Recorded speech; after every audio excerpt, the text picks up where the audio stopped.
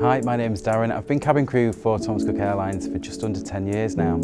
So we've got 90 minutes to report for any duty that we've got and we need to live within a 90 minute radius so it makes commuting to our workplace um, easy. One thing that you've got to take into consideration is the traffic on the road, whether it's rush hour, because at the end of the day we need to make sure our aircraft leave on time, so we need to be at work on time.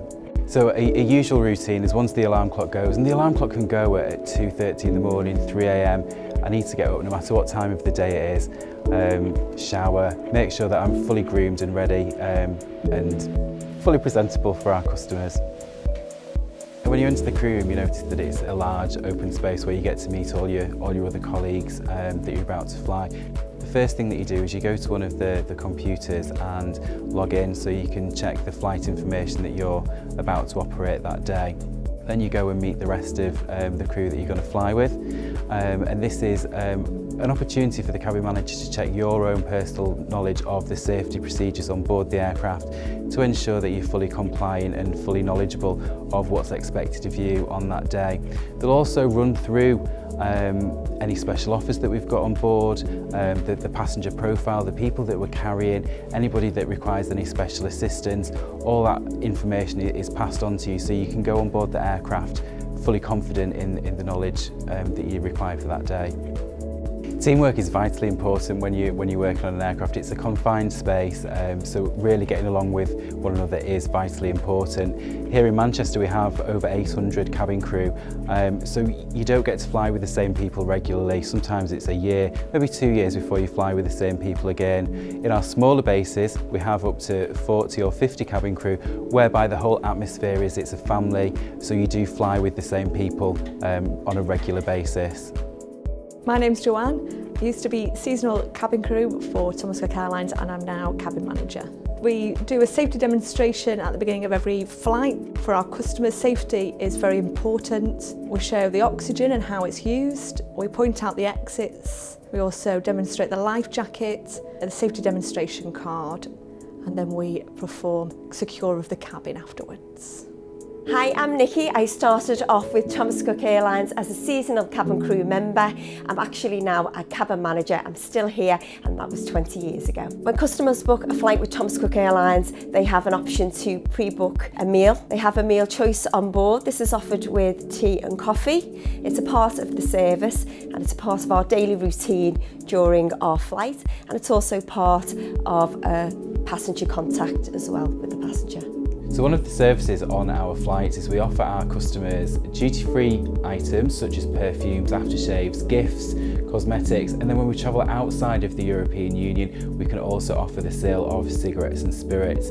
We've negotiated some fantastic prices to ensure that we are one of the leaders in the aviation industry and also selling duty free it's a great way to interact with the customers on board, have a little bit of banter, have a laugh and also earn as much money as you possibly can because we have commission as well. My best advice to you would be to know the products that we sell inside out and back to front because people buy from confident people so if, if you can be confident about the products that we sell, then they will buy from you. The benefits of being a cabin crew member of Thomas Cook Airlines are the different types of people you meet each day, different walks of life. I also get to go to destinations that I would probably never have gone to and I also get paid for it. That's one thing I've noticed about being cabin crew is that the money is really good. Um, the commission on my last flight was um, £85 and that was one sector on an inbound Mexico flight.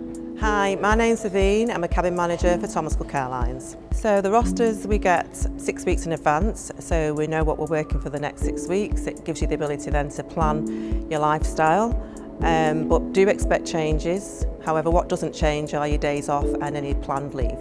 Thomas Cook Airlines in the UK is a part of a much larger group. We have four airlines in total. We've got our German airline Condor, we've also got Thomas Cook Belgium and Thomas Cook Scandinavia.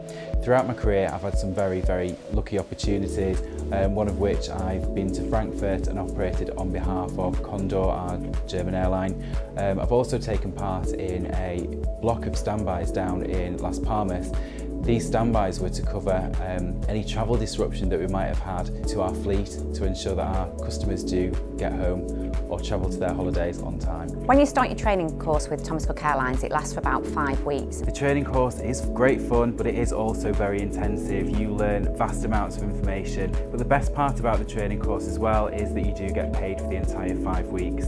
So what's involved in the training course? You get to learn about the slides on the aircraft, you get taught how to open doors safely in normal operation and also in emergency situations. When we're talking about the slides, you do get to jump down one of our escape slides. It's great fun, 30 feet in the air and it is really, really fast and hopefully it's the one and only opportunity that you'll get to, to do that.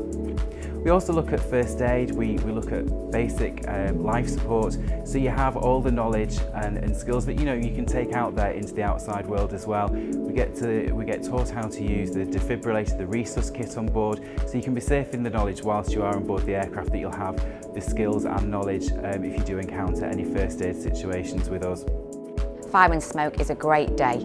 We get to put on um, jumpsuits and go into a smoke-filled cabin with our smoke hoods on we locate the fire and we learn how we would put that out with the equipment that we learn about. On the life raft day, you go down to the swimming pool, you get to do a few lengths and then you learn how to board the life raft, pull your colleagues in and learn how you would survive and use the canopy. It is really great fun, but also a lot of hard work and a lot goes into it. You will get out of it what you put into it. There's homework, studying to do, lots and lots to learn, and exams on every subject that you're taught on. After the five weeks has passed, you will then have what's called a Wings Day, where you can celebrate your achievement becoming a Thomas Cook Airlines cabin crew member. You can invite all your friends and family along to share in your success, and you also get a video memento of your training so you can look back in many years at all the fun times that you had whilst you were training with us.